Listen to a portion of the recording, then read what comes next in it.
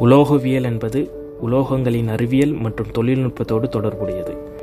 பழங்கால மக்கள் தங்கள் சுற்றுச்சூழலில் கிடைத்த உலோகங்கள் நெருப்பு முதலியவற்றை பயன்படுத்தி வந்தனர். புவியில் மேற்பரப்பில் காணப்பட்ட உலோகங்கள் மட்டுமே அவர்கள் அறிந்திருந்தனர். பல ஆயிரக்கணக்கான ஆண்டுகள் மேம்படுத்தப்பட்ட உலோகவியல் தொழில்நுட்ப வளர்ச்சியின் விளைவாக இன்றைய நவீன உலகில் நாம் நமது அன்றாட வாழ்க்கையில் பல்வேறு உலோகங்களை பயன்படுத்தி வருகின்றோம்.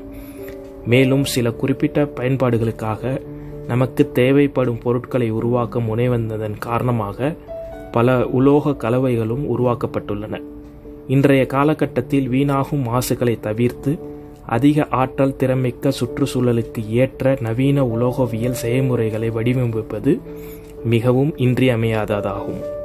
உலோகவியல் ஏற்படுத்தும் இத்தகைய முன்னேற்றங்கள் நவீன உலகின் பொருளாதார மற்றும் தொழில்நுட்ப வளர்ச்சிக்கு வித்திடுகின்றன.